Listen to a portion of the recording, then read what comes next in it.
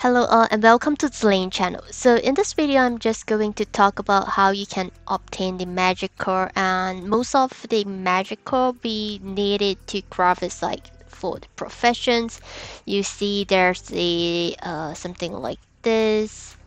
Let's see if this one is needed it or not. Um let's just take this example, the rune. So we dismantle most of our low level rune and when it comes into the promotion itself and then we only notice that we need that rune back. And what you can do with this rune here if you click on the move buttons it will tell you that it needs magic core and the fame magic core. So if you click on the locations icon on the right hand side it will tell you like what kind of uh, places will be dropping those items there.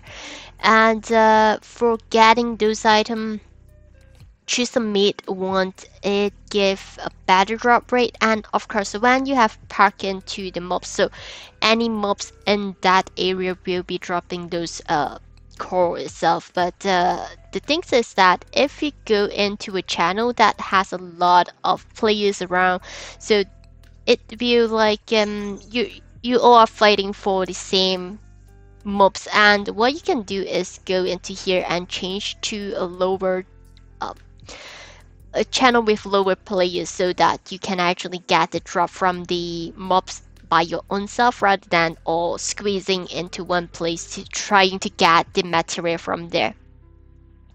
And uh, yeah so how you can get First thing is, of course, farming from the map itself.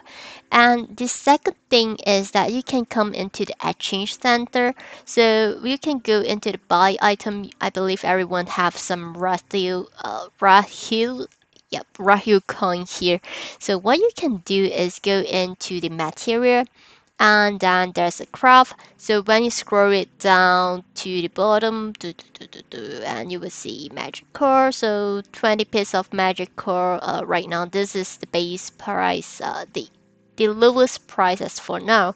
So you can just click and purchase it. If you do not have this right here um coin here what you can do is there are people selling it uh, with uh, the crystal we call it diamond or crystal, but th this one in the game here it calls crystal.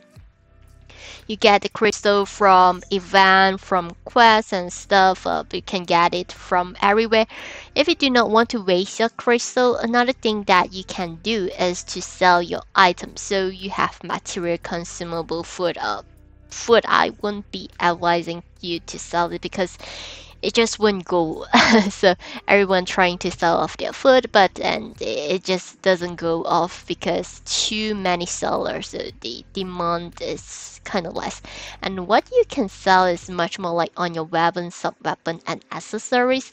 So what you can do is when you go into the party dungeon, the foggy prison, and you get some weapons here. And if any weapon that has the so if you click into a weapon um I just giving you an example. So this one here is non-tradable. You can see there is an icon on the third, um, the third icon here. So this is a rate one. It means that this is not exchangeable. But if you have gotten any kind of weapon, sub-weapon, or accessory with the blue icon which you will see exchangeable so those are items that you can sell it in here. So you can just sell it in here and this should it should be visible in here. So you can just click on it and sell off get some Rahil and get the exchange for that uh, material that you need. And yeah that would be a short video for this about something about the magic core here and I hope this video is helpful for you. Thanks for watching. Remember to like and subscribe for more upcoming video. Bye.